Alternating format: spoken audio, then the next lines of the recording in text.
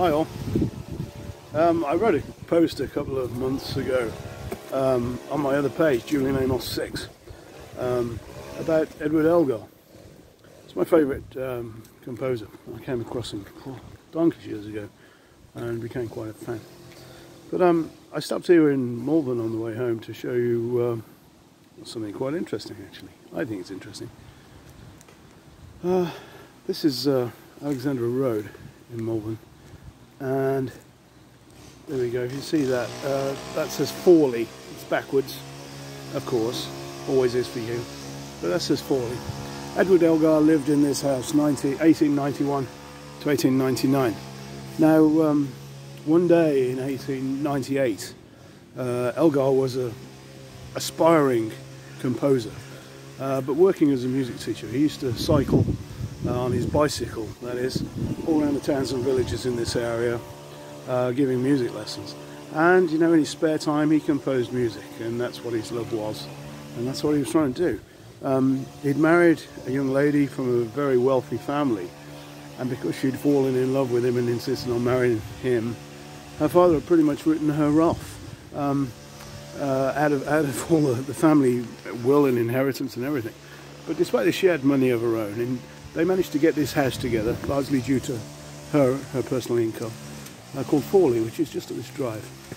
But I'll actually, I'll just mention something else. One day in 1898, Elgar was riding back down this road, having spent the day giving music lessons, coming back to his house here.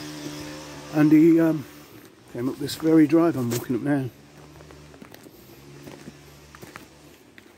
I wonder if he pushed his bike up this bit. I'd love to know.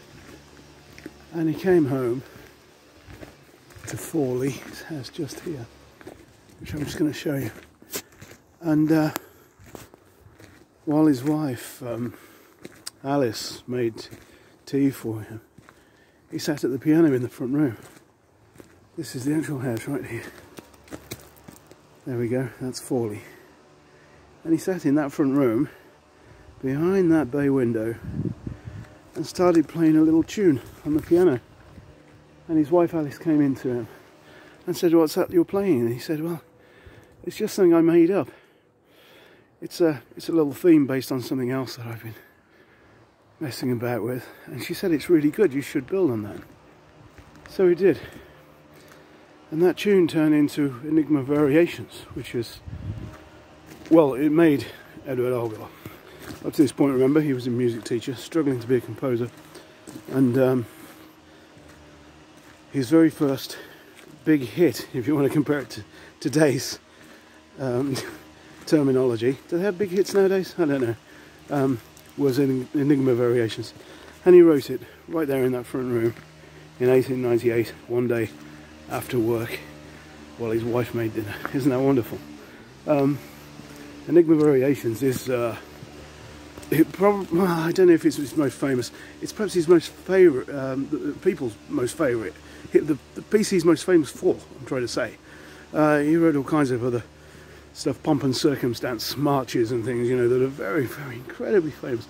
But um, Elgar, the Malvern Hills, and Enigma Variations, um, you know, they just uh, are the biggest thing he's remembered for.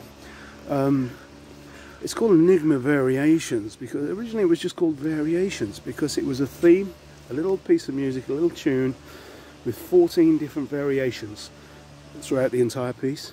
And each one of those variations was based on a friend or somebody he knew. Um, so they've all got different character traits. Uh, one of them, for instance, was, um, I think it's number 11, is... Uh,